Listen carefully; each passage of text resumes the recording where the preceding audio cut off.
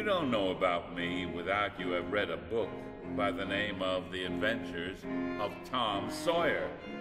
But that ain't no matter. That book was made by Mr. Mark Twain, and he told the truth, mainly. That is nothing. I never seen anybody but lied one time or another without it was Aunt Polly or the widow Douglas. The widow Douglas, she took me for her son and allowed she would civilize me. The widow, she cried over me and called me a poor lost lamb, and she called me a lot of other names too, but she never meant no harm by it.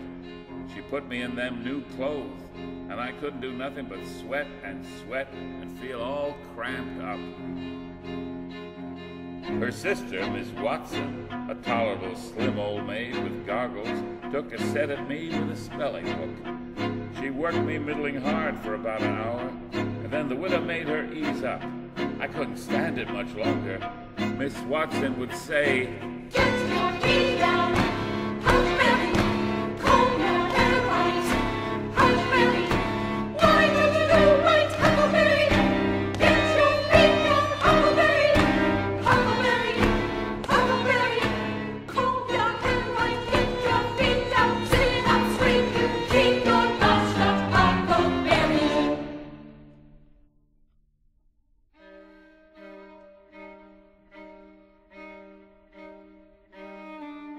One night, I lit out for Jackson's Island, where I met Jim, Widow Douglas's runaway slave.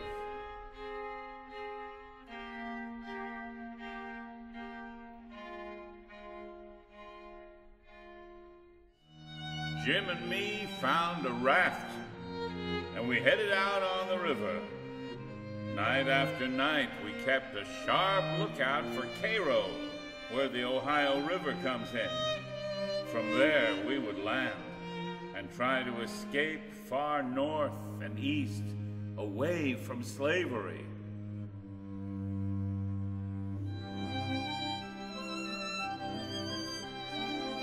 We had the sky up there, all speckled with stars, and we used to lay on our backs and look up at them and discuss about whether they was made or just happened.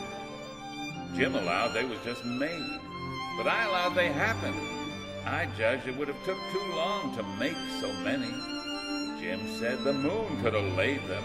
Well, that looked kind of reasonable, so I didn't say nothing against it, because I've seen a frog lay almost as many, so of course it could be done. We've watched the stars that fell, too, and see them streak down. Jim allowed they got spoiled and was thrown out of heaven.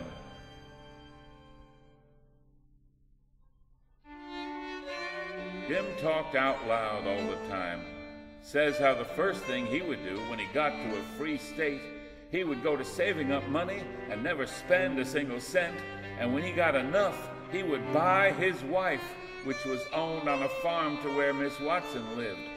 And then they would both work to buy the two children. And if their master wouldn't sell them, why, they'd get an abolitionist to go and steal them. It froze me to hear such talk. I went looking for a light. By and by, one showed.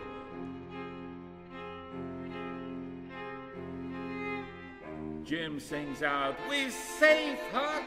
We safe! Jump and crack your heels! It's Cairo, Huck! I says, I'll take the canoe and see, Jim. It mightn't be, you know. When I was 50 yards off, Jim says, There you go, the old true Huck!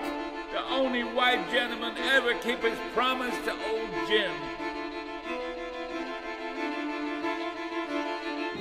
Right then, along comes a skiff with two men in it, with guns, and they stopped, and I stopped. One of them says, What's that yonder? A piece of raft, I say. Any men on it? Only one, sir. Well, there's five slaves run off tonight up yonder above the head of the bends. Is yours white or black?